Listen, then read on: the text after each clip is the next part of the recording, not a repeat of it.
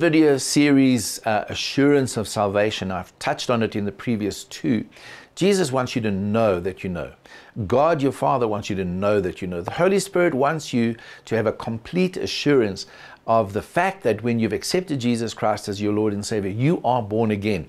Your sins are forgiven. You are a child of God. It is a fact.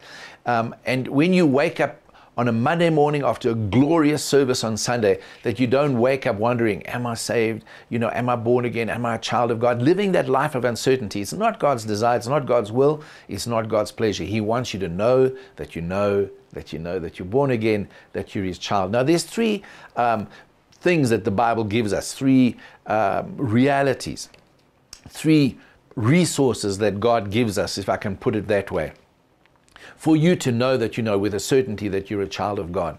And the, the first thing is, God gives you the word. And we need to exalt the truth of the word above everything. And so Paul says in Romans 10 9 and 10, listen to what he says. If you confess with your mouth the Lord Jesus, and you believe in your heart that God raised him from the dead, you shall be saved. Now, with these two organs, the mouth and the heart, he says, the heart one believes, resulting in righteousness. And the other, he says, the mouth, one confesses that Jesus is Lord, and this results in salvation. If you ever wake up, if you're ever in a situation, if you're ever going through a hard time, and you feel like, Am I really born again? Just remind yourself, Well, I did believe in my heart and I did confess with my mouth, Jesus is Lord. Then you are righteous, then you are saved. And so the first thing he does is give you the word. So always go back to the word of God and convince yourself, in other words, renew your mind that you are born again because God's word is true and it doesn't lie. Your feelings may change, but the truth of God's word.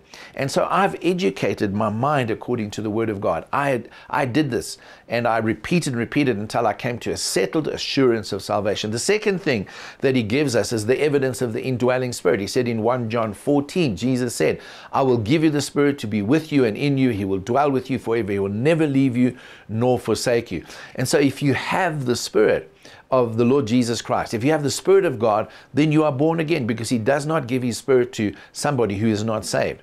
And the great thing, and this brings us to the third point, is that the Spirit communicates with your spirit an assurance of salvation.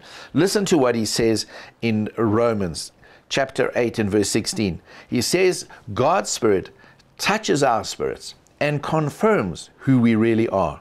We know who He is and we know who we are Father and children. And so you have the witness of the Holy Spirit. And so He communicates, He convinces you of the fact that you're born again. But you need to first have the Word, second, the indwelling Spirit, and third, the confirmation, the witness of the Spirit to your spirit. So I pray that you may know, that you may know, that you know that you know that you're a child of God. Bless you. Thank you for watching us, and uh, I want to encourage you please to like us on Facebook, follow us on Twitter and SoundCloud, connect with us on LinkedIn, and then also subscribe to us on YouTube.